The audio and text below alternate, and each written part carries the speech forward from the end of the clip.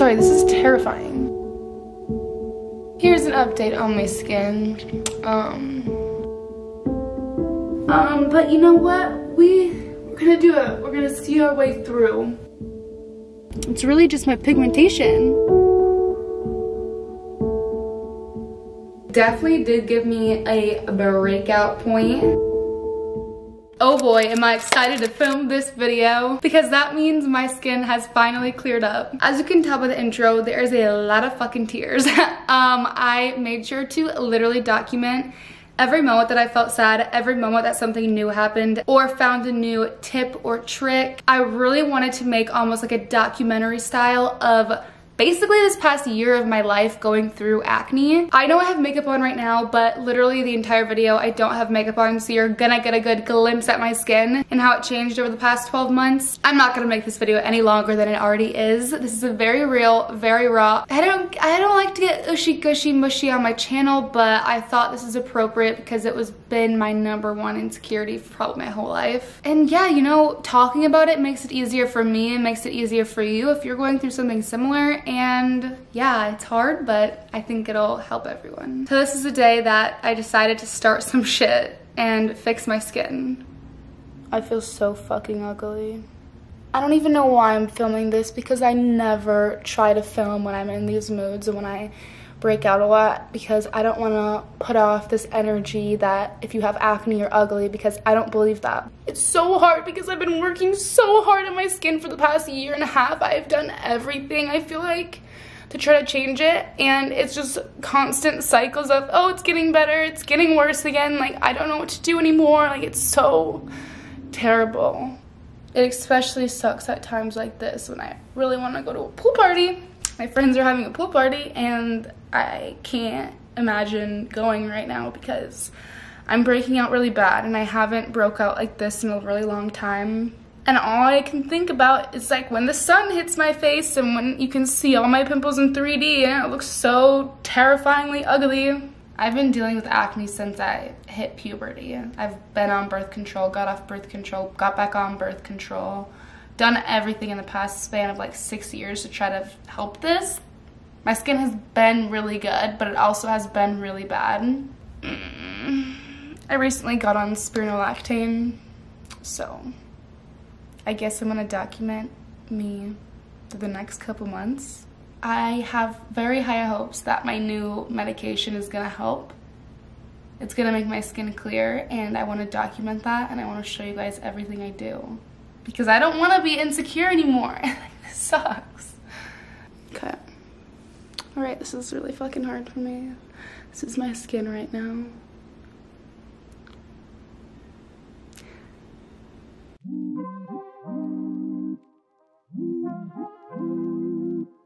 I also decided to go to my OBGYN and switch my birth control. I wasn't sure if that was playing a part in all of this acne too, which I'm glad I did. The doctor told me it definitely was, and I actually started that at the same time I started my spironolactone. I got new birth control! I've been on this weird train with birth control, and the last six months I've been taking one that I haven't taken before, I don't think it's good for my skin, so I went to the OBGYN today and I was asking him about it, and he's like, yeah, no, that one's not very good for your case. I was taking Larissia, if anyone takes that or is wondering. Basically, I talked to him, I told him I was on spironolactone, which I now know is called spironolactone, I think.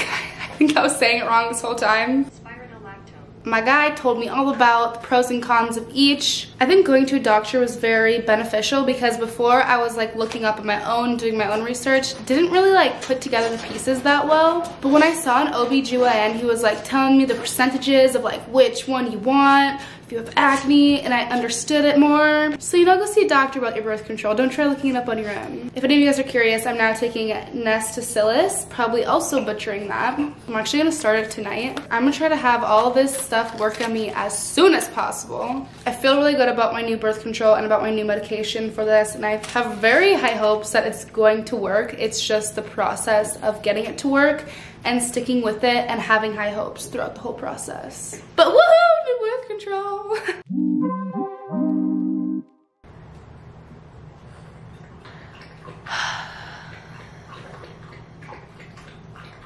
It's probably been like another week since I've talked to you guys, but I thought I would only get better from that point because I thought I was feeling really low. But now I'm kind of like back at that point. I've been filming a glow up video, trying to feel super pretty. And honestly, I feel like so ugly. And it just really sad.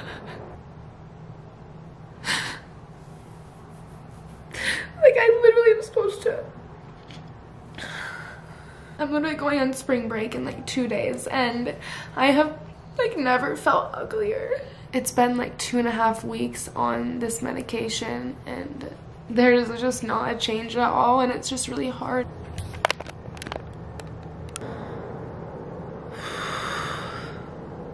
Like it literally, like it makes me just want to cancel like everything.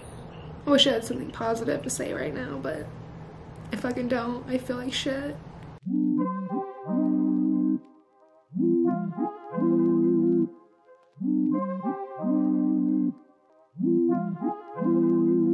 Hello. It is officially been about a month.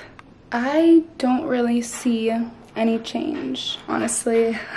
It sucks because I remember the doctor saying you'd probably see a little bit of a change at least by the one month mark and I haven't really seen anything yet. I mean, I guess it is pretty early still. It's also getting really hard to just do anything. to go in public without any sort of makeup on. Like, I feel like I have to have my hair down, always covering me. Living the life. So getting into all of the facial treatments that I did, I've done chemical peels and microneedling before, but not for the extent that I had on my skin, if that makes sense. I was doing them mildly before, but now my esthetician and I got on a plan to do them twice a month or one time a month, and we're gonna really attack it headstrong. Today is facial day.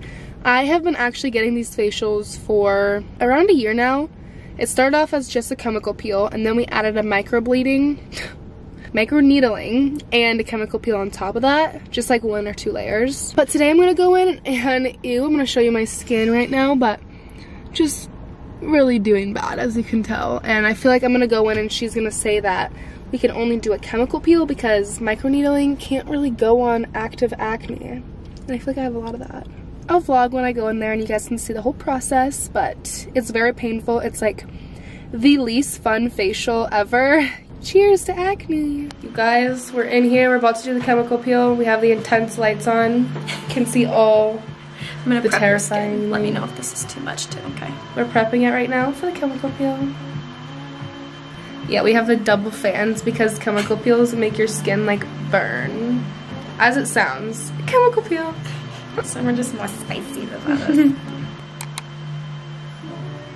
okay, here's the peel itself.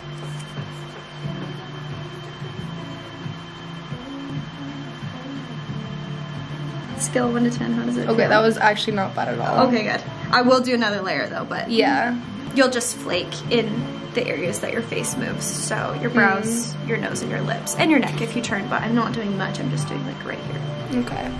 Today is St. Patrick's Day, and I wanted to feel cute, so I was like, oh, let's put some tinted sunscreen on. I got my chemical peel like two days ago, and literally, it looks so bad. It is peeling everywhere. You guys, I'm sorry, this is terrifying. I had plans to go out. It's like St. Patrick's Day. It's literally on a Friday, best day ever. But I simply cannot. I'm holding myself in, not going outside looking like this. Well, I am going outside. I'm gonna go take a drive. That's what I'm gonna do. With Shorty. Solo activities until I don't look like a crazy dragon peeling itself. I have a good feeling that it just means new skin is coming. My medication is purging. It's working. Everything is working in my favor. I'm feeling lucky today, can you tell?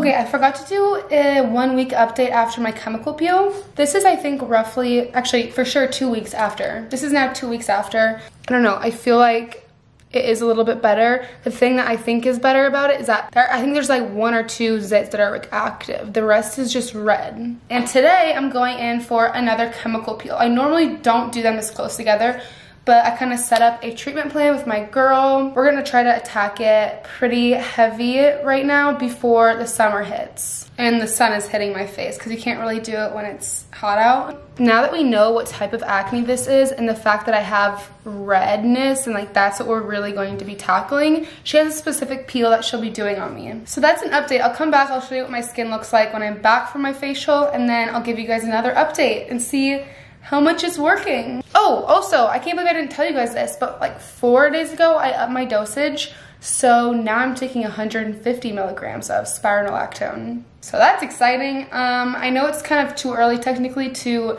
tell if it's actually working, but I was like, you know what? I'm just gonna keep pounding at it, pounding at it more, more, more. I really am trying to do the most to get this gone as quick as possible. Okay, I'm back from the facial. Here's an update on Okay. Here's an update on my skin. Um, yeah, it looks a little bad. But she was even saying it looks way better than when you came in last time because it's showing results that there's no more active acne. So that's good. I'll update you guys in a week.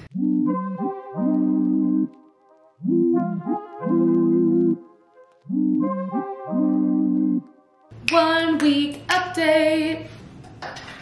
supposed to be ice rolling my face. This is This is the one thing that I'm like, okay, this is a cap. Apparently it's like really good for inflammation, which is like my number one thing that I have. I have pigmentation and inflammation. pigmentation and inflammation. Yeah, it looks really bad, but I feel like it's better I don't know, ice rolling just like, I literally feel like it doesn't make my pigmentation better, but everyone's like, do it, do it, do it, it's totally so good. I don't even know, and no, it doesn't really feel like it. I hate being cold. That's like my least favorite thing. That's why I moved to Arizona. See, watch. It just makes my face more red, I feel like.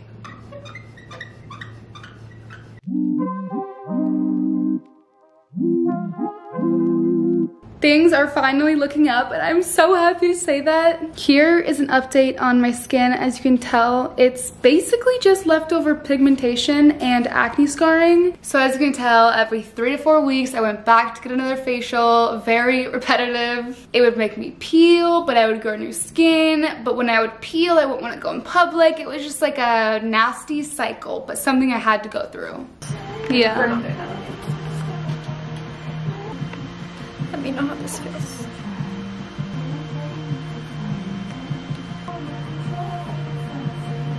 Okay, I just got done with hopefully my last ever chemical peel. I am so happy to say that because my skin is getting so much better. That one was basically tackling all my pigmentation and a couple of random active acnes that I've, acnes that I've got like on my forehead and stuff. Normally you guys, when I come out of chemical peels, my face is a tomato and I have extractions everywhere, but like literally, why is it kind of like not even that bad? It's really just my pigmentation. Like looking back at old pictures, I'm like, thank God, like we've come so far. And fuck chemical peels, they are so not fun to do. And then to deal with the peeling after, like it sucks. You literally look like a snake. So I'm so glad that that was my last one. Seconds after. You guys, I just found out about something that is a huge acne trigger to so many people and I had no idea before. Your shampoo and conditioner rubbing against your face when you're sleeping, during the day, on your back if you struggle with bacne. Once you think about it, you're like, oh yeah, no shit, that probably makes a lot of sense. The one thing that you're gonna wanna look for is a shampoo and conditioner that is non-comedogenic. You know what I was using before? Moroccan oil. Is Moroccan oil non-comedogenic? No. It literally was probably adding to my acne problem so much. So I now use DAE hair. DAE hair is non-comedogenic, so I don't have to worry about it. It also just smells like so freaking good and like fruity. I'm obsessed. Hey guys, I'm feeling a little discouraged right now. I'm still breaking out. Um, wow, wow, wow, wow. This camera, this lighting is literally absolutely terrifying.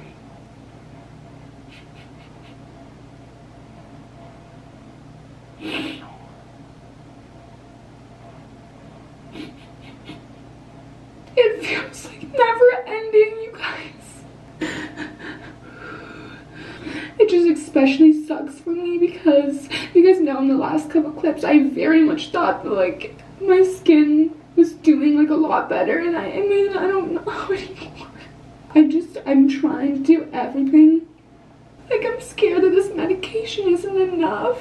But be I'm taking so much of it now. But it's so shitty.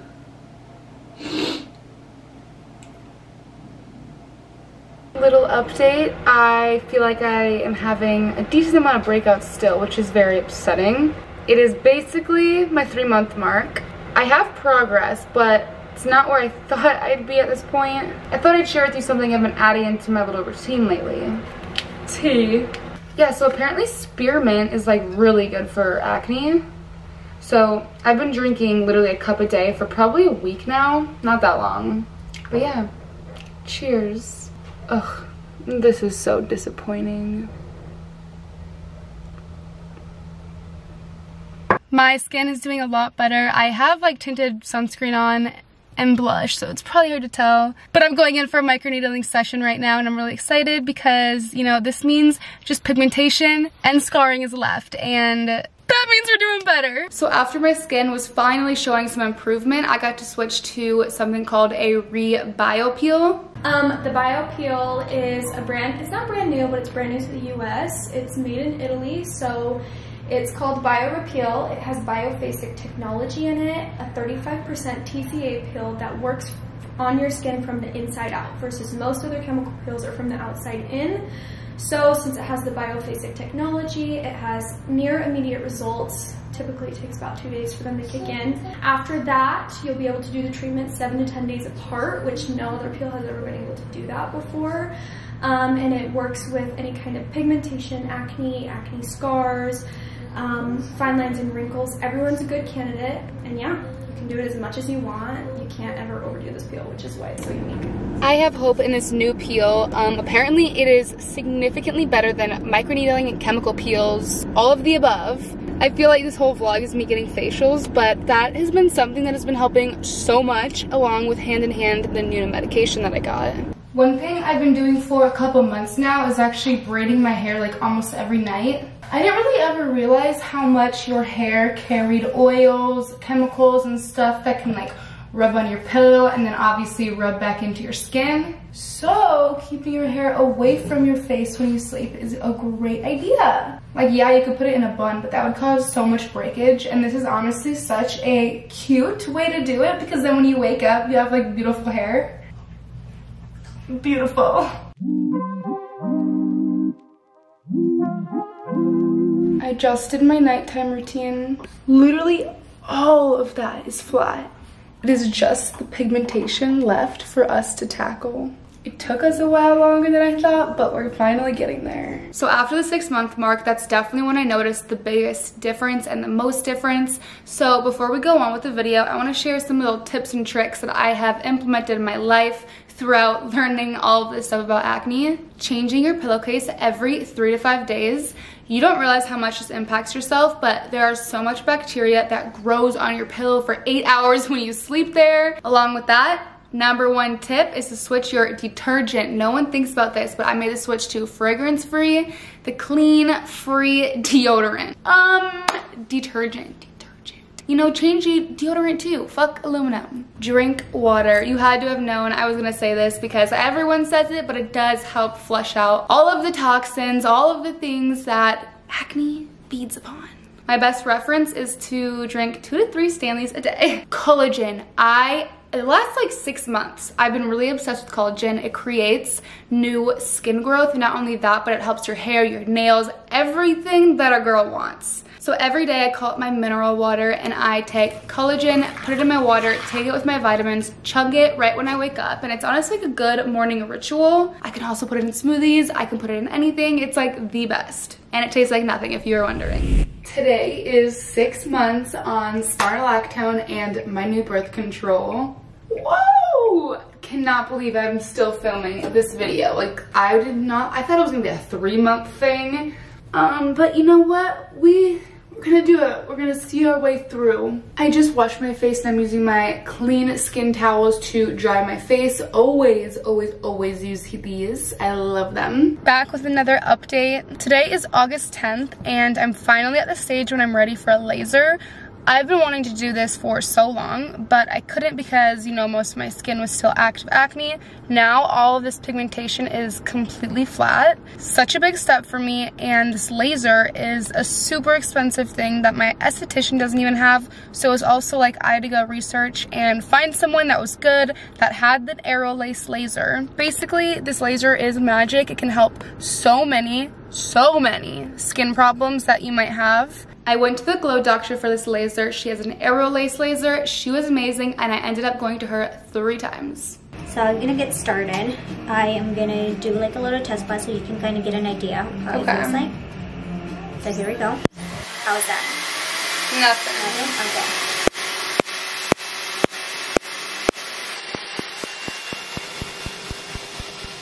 Okay, how's that? Woohoo! Easy peasy, right? Yeah, that was like what? Seven minutes. Mm -hmm. So fast. It's really quick. Ooh, so bright now.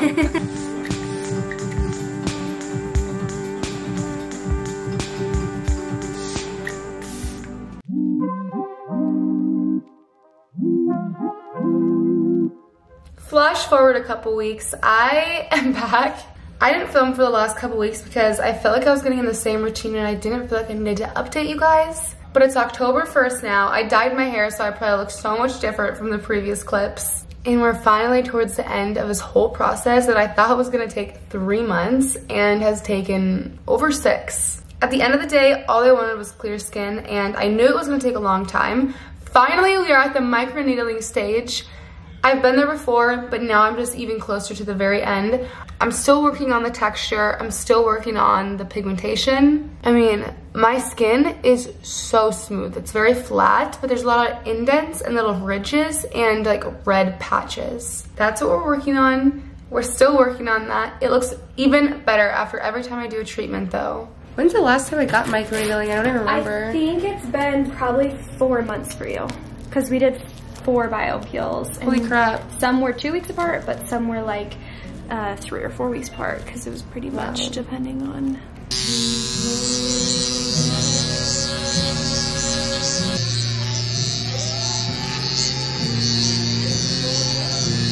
This is immediately after I got out. I'm still pretty red in my cheeks and my whole face is like really hot. I haven't had this in like, she said like four to five months, so it's going to hurt me a little bit. I love the results that I see with microneedling, so I'm glad I did it. I am back for a final skin update. It has been so long since I've talked to you. It is January 18th. Um, insane, I know. I partly forgot I was filming this YouTube video because my skin started to clear up. I was getting so much happier. I obviously still have a random breakout, but I don't even care at this point. Compared to like what my skin was before, I am just so, so grateful that that medication worked, that I did all the facials to help it regulate my skin. I am just in such a better place mentally and my skin is too. Like, oh my goodness, you guys. But let's just do a close-up. Like, First of all, everything is completely flat and I obviously have no makeup on right now. Redness is like the one thing that I would say I'm like struggling the most with. I do still have some blemishes here, but they're literally just red marks from past acne blemishes. If you compare my skin right now to what it was before, like I think you would shit your pants. I am so happy with the results. I can't believe it's been almost a year. I was looking back at the footage a few days ago and I was like, this is insane. I thought it was gonna be like a four month process, but little did I know it was going to be an 11 month process. Granted, my skin has been like this for like the last two to three months. I just didn't really have time to film the end of this video or edit it because it was a vlogmas and it was a bunch of the holidays going on so I figured it'd be better if I just left it for the new year. But yeah, my skin has been so happy which going from the amount of acne that I had, you can't go to clear skin, smooth skin, no texture skin, no redness skin in a year. So that's something I just have to accept. I am completely fine with it. I can continue doing the tretinoin I can continue doing my skincare, going in for facials every once in a while. I feel like I can take a deep breath and be like, fully confident with myself again. I started one new skincare thing that I'm gonna continue on for I think the rest of my life. So let's skip to tonight when I show you that. Now that my skin is good and has no active acne, I'm ready for tretinoin. Honestly, I haven't been using this stuff for that long. I've been using it for two and a half weeks at this point. It definitely did give me a breakout point. I got like five to seven zits. I was super annoyed but also that's how you know the tretinoin is good. It's like pushing all the bad stuff out. Anyway, we're gonna go ahead and apply some. All you need is a pea-sized amount. Place it evenly on your face. If you guys don't know anything about tretinoin, you only use it two to three times a week. Honestly, it's not like I necessarily need another acne product, but having one is helping with the texture, helping with the redness. So it's not like something I want to be on temporary. I want to be on it for a long time. It'll help with wrinkles. It'll help with everything that I might need. Always pair it with a moisturizer. You do not want your skin drying out because of it. And there we go. And that's it. I am currently on tretinoin. I'm loving it. I guess I'm only on week two and a half. I did have some breakouts from it, but nothing too crazy. I think I got like four or five zits, but like nothing of what I'm used to, okay? Maybe I'll be using this for like 20 plus years and then I'll never get a wrinkle. That would be amazing. Thank you for watching this video. Comment down below if you're going through anything similar because I know I can relate. I felt like I was in the deepest darkest hole for so long because of that. But it's natural at the end of the day. Everyone, I don't care if it's one zit or 20 zits, everyone goes through something similar than this and can kind of at least know how it feels. I love you guys. You guys are all beautiful. Looking back at this footage of me, I was beautiful. It's just hard to see in the moment because it's so different for you. But just know you are beautiful. I love you all and I will see you guys next week.